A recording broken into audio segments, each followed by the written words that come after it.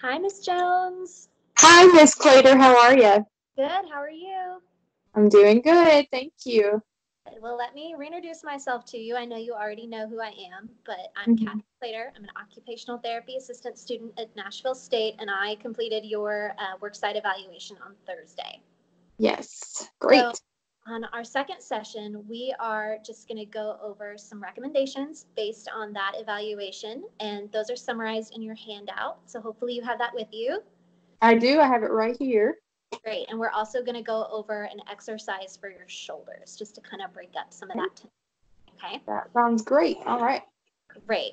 Now, just like last time, I want to make sure that I have your phone number correct and that you have mine in case we get disconnected or have some technical problems. Right. Okay. So I'm going to repeat to you what I have written down for you. Okay. Okay. I have your number as 615 962 5844. Is that correct? That's correct. Okay. You may already have. Um. Yeah, I may have misplaced your phone number. Can you tell me one more time? Yeah, yeah. My number is 615 Okay. 417 Okay. 4168. Four one six. Thank you. I got it. And just like last time, I want to get your verbal consent to perform this session, and that's just a formality. Okay. So, do mm-hmm. I have your permission to perform this session? Yes.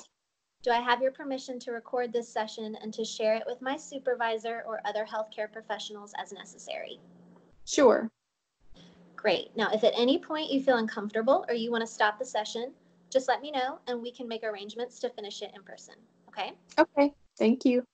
Great. Did you understand all of that? Do you have any questions? Um. No. No questions. I'm No? good. Well, then let's get started. So, the first thing that I want to say is I want to talk about the positives of your workspace. Um, I think your computer area is set up pretty well. Your monitor is at eye level, which is great. Your keyboard and your mouse are next to each other, and all of your tools are pretty close by. So, I think that your desk setup overall is pretty functional. It looks like it's functional for you. Would you say that's true? Oh yeah, I would say so. Yeah, I agree. I also think your lighting is pretty good. Um, I like that your floor lamp has three different options, so you can adjust how bright you have it. Right. Um, it's nice that you have your um, your overhead lighting as backup in case you need it. mm-hmm. For sure. Yeah. So um, I know from last session you said some of the concerns that you had were pain in your neck and shoulders, Mhm. distractions in your work environment, and um, the sun glare on your computer screen. Would you say that's accurate? Yes, that's probably about it. Yes. Okay. Well, I have some solutions for you. Um, and this is where I want you to follow along on your handout because we're going to go Mhm. line by line through it. Okay. Right. Okay. So the first thing that I want to talk about is your seating. Mhm. I I know you use um, it looks like a recliner of some kind, and it's probably pretty comfortable if you're watching TV or something. But Yeah. I highly recommend if you're going to be seated for long periods of time at your computer that you, if you can, invest in some kind of ergonomic work chair, some kind of office chair that's adjustable. And the features that you really want to make sure are adjustable are the seat height and depth, the backrest, and the armrest. And what that's going to do is it's going to allow you to adjust it so that you can sit with your hips, your knees, and your ankles at 90 degree angles while your back is supported by the chair. Mm. The benefit of that is it keeps your posture aligned and it reduces some of the musculoskeletal discomfort and pain that you've been experiencing when you look at your computer for a long time. Right. Okay, great. Yeah, so you can find those at an office store, Target, IKEA, wherever, really any kind of furniture store. And sometimes you can find them at yard sales. So I wouldn't discount that possibility. Mhm. Uh, I will say if that is completely out of your budget right now, because I know you're a student, the next best option would be grab a dining chair from downstairs or from the Goodwill or something and put some tennis balls on the bottom and use that as your work chair until you can afford to buy a nicer one. And that Mhm. will still give you a little bit better lumbar support than the chair that you're sitting in right now. Yeah, that sounds good. I could do that. Great. Okay. Well, the second thing is I know you said you had some distractions with your cats in your Yeah. while you were studying. I also In know that your cats. Yes. There they are fighting. I also know that they're very important to you. So take this recommendation with a grain of salt. I am not asking you to put them away for long periods of time, but as the handout said, I suggest that you choose your toughest assignment or if you have a test coming up, choose something that you want to focus on for one hour and just put them away for an hour. Put them in a different room, set them up with a new toy, make sure that they're okay, and then Right. give yourself 60 minutes of uninterrupted time to get your work done. And when you finish that, bring them back in the room for a little bit. Give yourself a reward, and that will help you set a goal for yourself. And then you, it's like an internal reward system. Yeah, I 100% agree with that one. That's a great suggestion. Yeah. So hopefully that will work for you. And then after that, it's up to you if you want to keep them in the room for a while or if you want to put them back up. That's up to you. I just want to make sure you get at least one hour a day of uninterrupted time for studying. Mm-hmm. Good idea. So the last thing is the sun glare, which I can actually see um, the sun coming in your window right now. Yes, and that's with the blinds partially closed.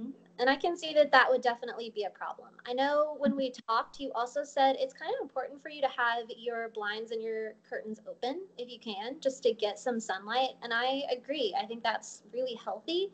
Um, Mhm. I need to have some some vitamin D, some sun in your space. What I would suggest is you can purchase on Amazon um, a protective sun glare filter for your computer screen. They run about thirty to forty dollars, so it's a little bit of an investment, but I think it might be worth it for you. The way they work is they're they're little plastic screens and they fit into the grooves on your monitor.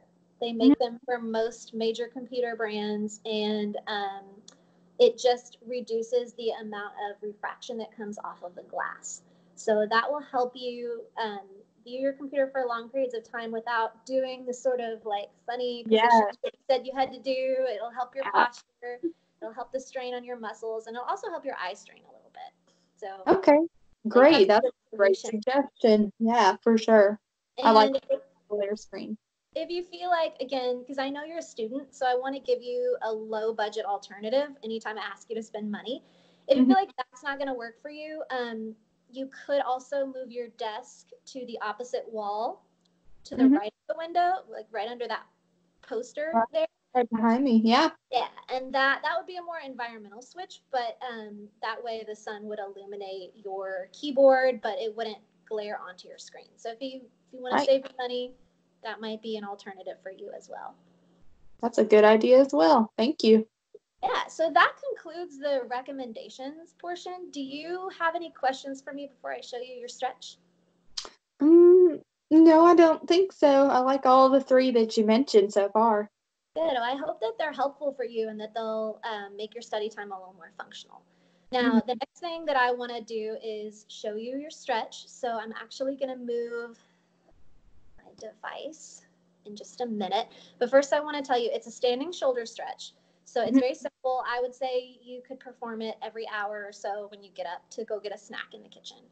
Um, and the main precautions that you want to be aware of with this is just don't overstretch yourself because it you will full, feel a little bit of a pull, um, especially if your shoulders are a little bit tight. And also, you're going to be standing up, so make sure that there's nothing in your way that you could trip over. Okay, sounds Okay. good. So I'm going to demonstrate this for you, and then I'm going to have you stand up and do it for me, just to make sure that you know how to do it. And I'll give you a little bit of feedback when you're done. Okay? Okay, I'm ready. So I'll show you how it works.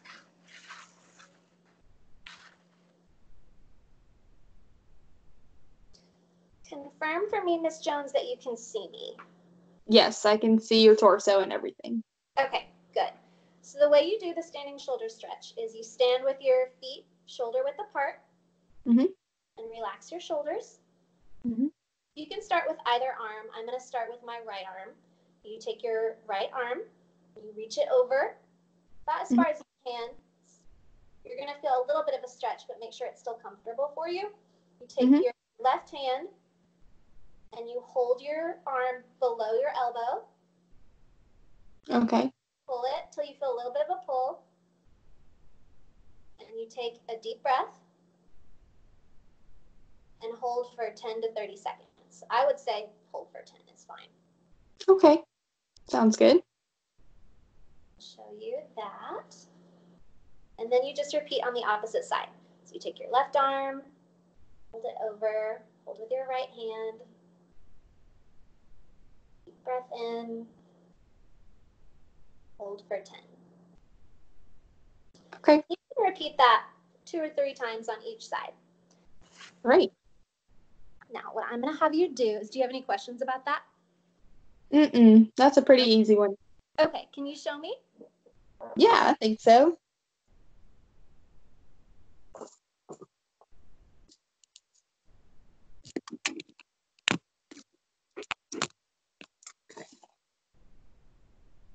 Can you see me?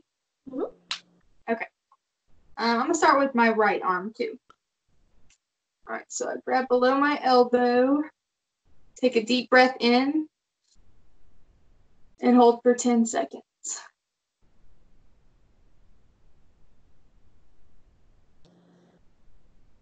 Okay, and then I switch to the opposite arm. Below my elbow, deep breath in, and hold.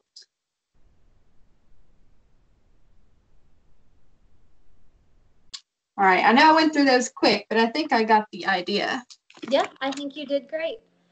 Do you, did you find that that helped at all? Yeah, I can feel it loosening my shoulder muscles in the back. It feels Yeah. good. I felt the same when I did it. Mhm. Have any questions for me? Um, I don't think so. No? Okay. Well, Ms. Jones, that is the end of our session. Um, I had a pleasure getting to do this with you. Mhm. Thank you very much for inviting me into your home and giving me this opportunity. Um, do you have any questions? If you do, please email me. You're welcome to email me anytime. Questions or Okay. just let me know. All right. Thank you very much. I think this was so helpful. All right. Thank you, Ms. Jones. I'll be contacting you. Bye bye.